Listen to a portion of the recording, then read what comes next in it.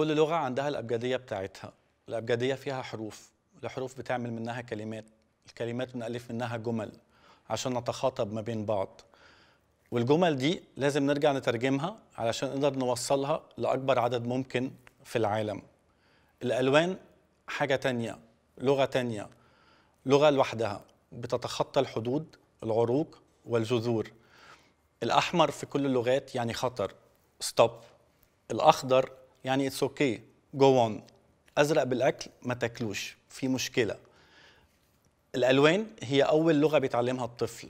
وزي أي حاجة في الدنيا زي أي لغة بتتطور وبيزيد عليها كلمات الألوان برضو بتتطور. من هنا نشأت فكرة ال color trends أو اتجاهات الألوان. ال color trends أو اتجاهات الألوان مش حاجة مش ذوق فردي مش حاجة بيفرضها علينا حد. ما فيش brand كبيرة بتيجي بتقول لنا الأحمر ده السنة دي هو الموضة أو الأخضر ده السنة دي هو الموضة. ال color trends هو علم قائم بحد ذاته. ال color trends هو حوارنا مع المتغيرات البيئية والثقافية والاجتماعية اللي حوالينا.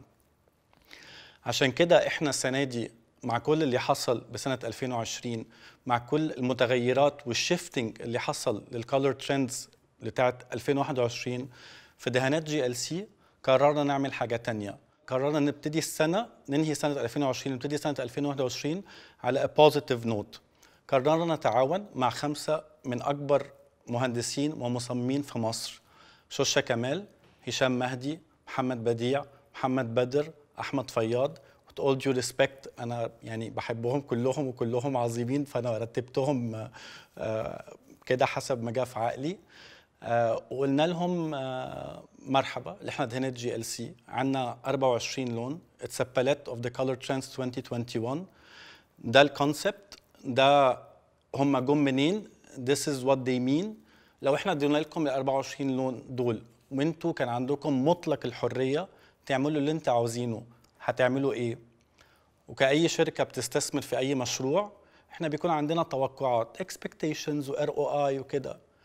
بس النتيجة اللي عملوها الخمس أشخاص دول تخطت كل توقعاتنا تخطت كل حاجة إحنا كنا مفكرين مفكرين فيها.